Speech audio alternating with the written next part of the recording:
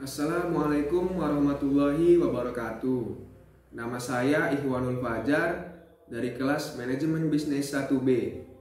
NIM 251710772. Sebelumnya saya ingin meminta izin kepada Bapak dosen Ilmu Ekonomi. Di sini saya akan menjelaskan tentang pendapatan nasional. Berikut materi-materi yang akan saya jelaskan pada video berikut ini. Yang pertama ada pengertian pendapatan nasional, yang kedua konsep pendapatan nasional, yang ketiga tujuan mempelajari pendapatan nasional, yang keempat metode-metode perhitungan pendapatan nasional, dan yang kelima perhitungan pendapatan nasional dengan metode pengeluaran. Yang pertama, apa sih arti dari pendapatan nasional itu?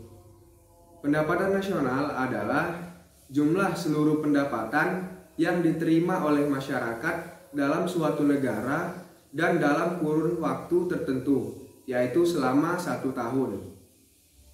Selanjutnya adalah konsep pendapatan nasional, terdiri dari enam konsep, yaitu gross domestic product, gross national product, net national product, net national income, personal income, dan disposable income. Yang ketiga, ada tujuan mempelajari pendapatan nasional, yaitu mengetahui kemampuan dan pemerataan perekonomian masyarakat dan negara, memperoleh taksiran yang baik tentang nilai barang dan jasa dalam satu tahun, dan membantu pemerintah dalam perencanaan dan pelaksanaan program pembangunan. Yang keempat, ada metode perhitungan pendapatan nasional. Ada tiga metode, yaitu pendekatan produksi, pendekatan pengeluaran, dan pendekatan pendapatan.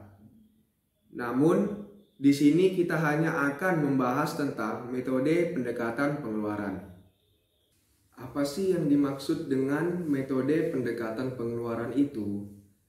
Metode pendekatan pengeluaran adalah jumlah pengeluaran secara nasional untuk membeli barang dan jasa yang dihasilkan dalam satu tahun dengan cara menjumlahkan pengeluaran rumah tangga konsumen, rumah tangga produsen, rumah tangga pemerintah, dan rumah tangga luar negeri.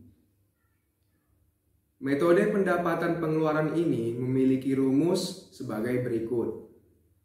Y sama dengan C ditambah I ditambah G ditambah dalam kurung X dikurang M.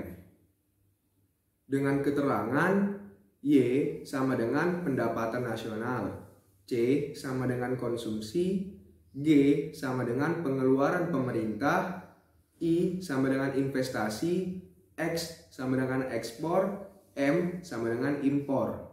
Saya akan menjelaskan satu contoh soal perhitungan mengenai pendekatan pengeluaran. Diketahui suatu negara mempunyai data dalam satu tahun dengan satuan triliun sebagai berikut.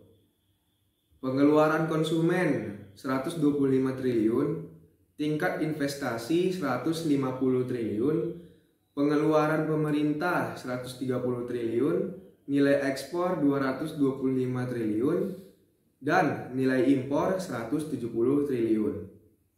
Besar pendapatan nasional suatu negara dapat dinyatakan dengan menggunakan rumus seperti pada gambar berikut ini. Ya, seperti itulah yang dapat saya jelaskan tentang materi pendapatan nasional dengan metode pendekatan pengeluaran. Apabila ada salah, saya mohon maaf. Assalamualaikum warahmatullahi wabarakatuh.